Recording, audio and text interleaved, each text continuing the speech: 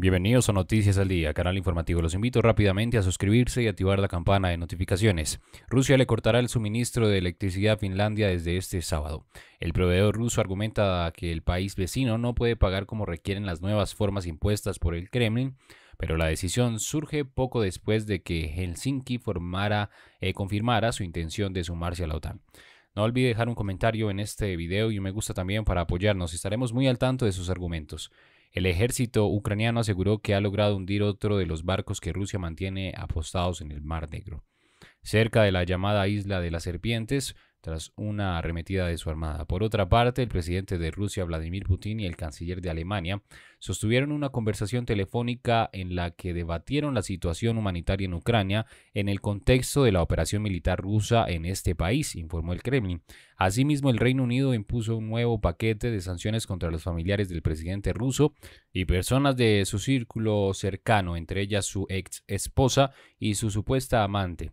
Por otro lado, Rusia destruye sistema antiaéreo estadounidense en Ucrania. Durante la operación especial, el ejército ruso destruyó casi 850 drones ucranianos, así como 165 aviones enemigos.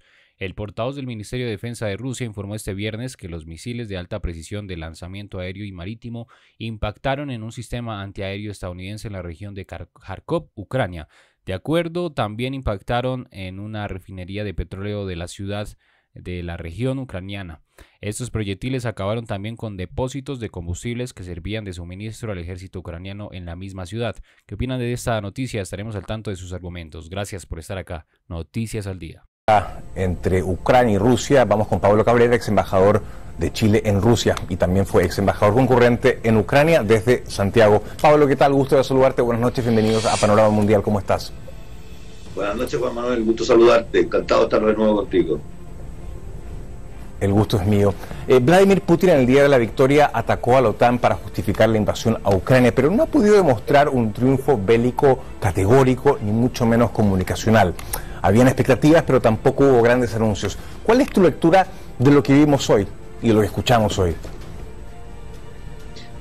Bueno, efectivamente fue un, discurso menos, menos eh, espectacular de lo que se esperaba, pero está dentro de los márgenes de cómo se ha desarrollado la, la, guerra, este enfrentamiento.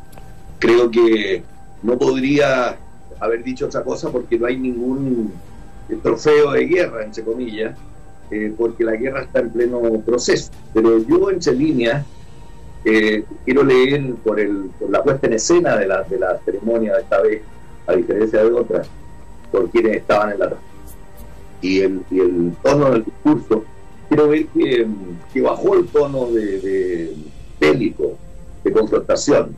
Quizás puede ser un indicio de que, de que está centrada su, incursión bélica especial en el, en el este de, Ucrania y podría estar eh, focalizando ya la guerra a el tema de Crimea y la, la región del Donbass.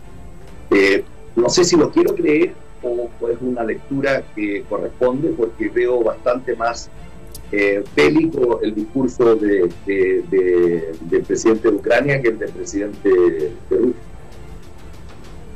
Sí, es una sutileza, pero se entiende tu distingo. Ahora, Pablo, en un poco más de dos meses Putin quedó bastante aislado, con una economía bastante dañada, tuvo que cambiar de estrategia porque la escala nacional de la guerra no funcionó, su ejército tiene miles de bajas, entre ellas generales, y ahora intenta buscar un triunfo en el Donbass, que también parecería digamos, una opción un tanto más probable. Hemos visto muchos errores de cálculo de los rusos a nivel bélico y también político. Pero, ¿qué nos dicen esos errores, Pablo?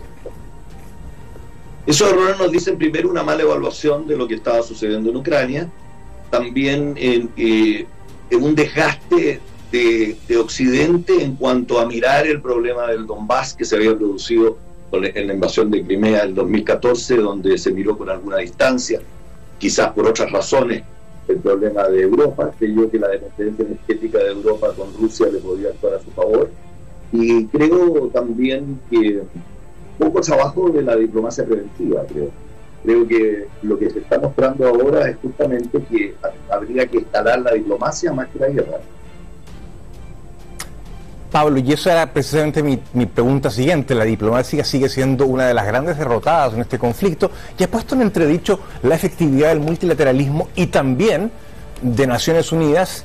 Y en este tipo de guerras, claro, eh, digamos, la ONU es una organización muy valiosa, pero cuando hay conflictos de esta envergadura, parece que el multilateralismo y también la ONU se quedan cortas a la hora de poder facilitar mejores soluciones. ¿Qué lecciones se deben aprender precisamente sobre esto, Pablo?